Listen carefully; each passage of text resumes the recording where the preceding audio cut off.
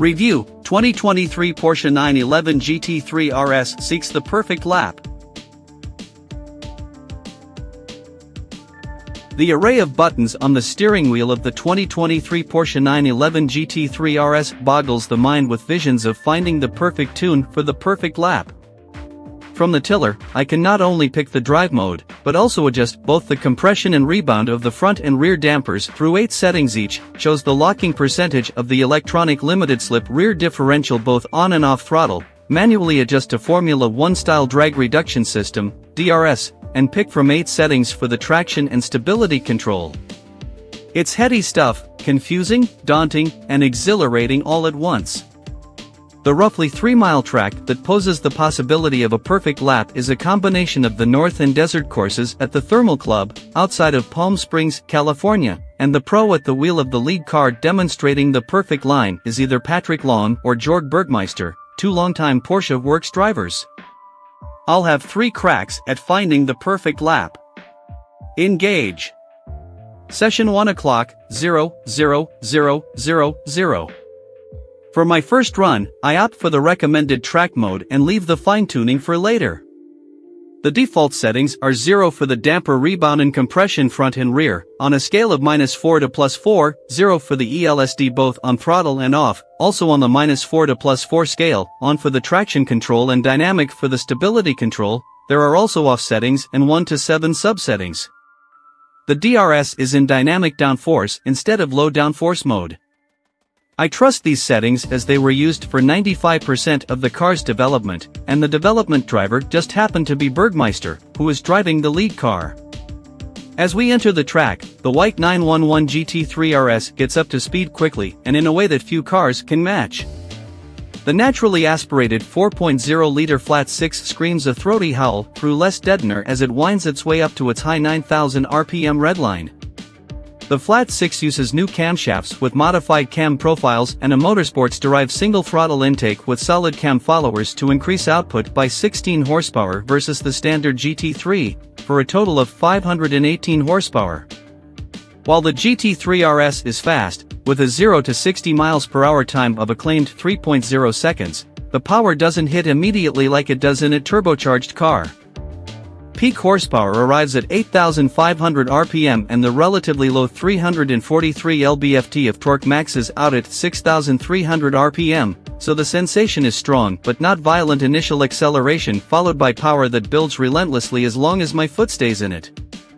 The power flows to the rear wheels through a 7-speed dual-clutch transmission rather than an 8-speed like other 911s.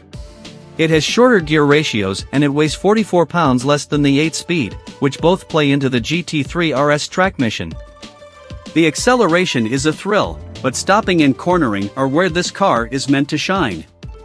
My test car for these first few laps has the standard iron brakes, which comprise 16.1-inch front rotors with 6-piston calipers and 15.0-inch rear rotors with 4-piston calipers, but more than mechanical friction is helping the car slow down. The DRS can generate downforce equal to the weight of an NFL offensive line plus a blocking tight end. Yes, all told, the DRS and other aero measures produce a maximum of 1,895 pounds of downforce at 177 miles per hour, twice as much as the 991.2 GT3 RS from 2019 and three times that of the current 992 GT3.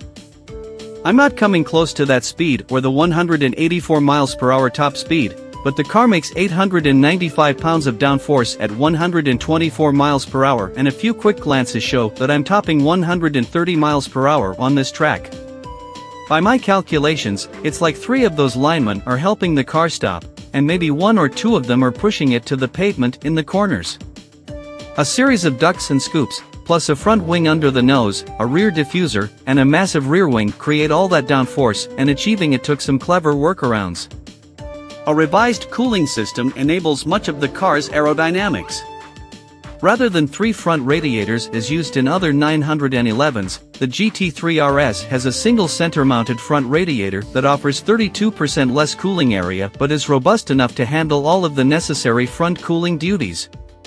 2023 Porsche 911 GT3 RS The single radiator opens the outer front air intakes for airflow that generates downforce by pushing the air up through a pair of nostrils in the center of the hood. That equipment takes up the space normally used by the frunk, so there is no front storage. It also exposes the front suspension components to airflow, so Porsche redesigned the double front wishbones with a wind-cheating teardrop shape that helps them add up to 88 pounds of downforce. The two-piece front wing under the nose is electrically adjusted. It can flatten out or tilt in 0.3 second to increase front downforce by 80% in conjunction with the rear wing that helps create up to 1,322 pounds of downforce at the rear. When the front wing tilts, a hydraulically adjusted blade of the two-piece rear wing tilts forward 34 degrees to act as an air brake. This blade reacts within 0.35 second. While I could control the DRS via a scroll dial on the steering wheel, I don't have to worry about it because dynamic downforce automatically adjusts the front and rear wings for optimal longitudinal and lateral dynamics. Even if low downforce were engaged, the system works automatically if the speed is over 62 miles per hour, the throttle pedal is pushed to at least 95% of its travel, the revs top 5500 rpm, and lateral acceleration isn't in excess of 0.9 g. Chasing Bergmeister, I'm making most of that happen as often as possible and he's encouraging it. Other aero is at work, too. The GT3 RS uses the widebody from the turbo, and rather than engine cooling, the ducts in front of the rear wheels provide brake cooling while reducing air resistance at the rear. Side blades at the front and rear wheels improve downforce by allowing air to flow out from the wheel wells, as do louvers above the front tires. Air warmed by the radiator flows through the front nostrils and is directed to the sides of the car by air blades on the roof. This ensures that cooler air flowing over the body will enter the engine cooling duct forward of the trunk lid. I can't say I feel the effects of the car's incredible downforce either during braking or in the corners. That takes a racer's feel, but it's probably helping me maintain more speed through corners. The standard iron brakes are more than holding up their end of the bargain, providing a firm pedal and strong stopping power time and time again. As for the corners, the 911 GT3 RS feels like an even more capable version of other 911s I've driven on the track. The 992 generation Porsche 911 is seemingly perfect in its imperfection. The engine hangs off the back of the car behind the rear axle where it should cause the rear end to step out of line, yet somehow the car attacks corners with balance and stability. In the 911 GT3 RS, that unmistakable stability and neutral balance is there, there's just more of it, and springs 50% stiffer than those in the GT3 limit the 911's already limited body lean. The turbo's widebody accommodates a 1.14-inch wider track and tires that are 20mm wider, 275-35 or 20 front and 335-30 or 21 rear. Standard rear-wheel steering contributes to the stability by steering slightly with the front tires through high-speed corners, and helps the car cut a sharper line through low-speed corners by turning up to 1.5 degrees opposite the fronts. On this car, the tires are the standard sticky Michelin Pilot Sport Cup 2s, and Porsche also offers even stickier Sport Cup Tour tires. For the most tire contact patch on the track, which is already aided by those wider tires, Porsche has set up the car in the recommended track alignment with minus 2.45 degrees of camber at each tire instead of the standard minus 1.3 degrees. I'm leery of exceeding the car's expansive limits, but the Michelin's just grip, the car rotates predictably through corners, and it's easy to put the power down to rocket from one corner to the next. At the end of the first session, my confidence is starting to build, but I still don't know how all the steering wheel adjustments can affect the car's handling character, yet.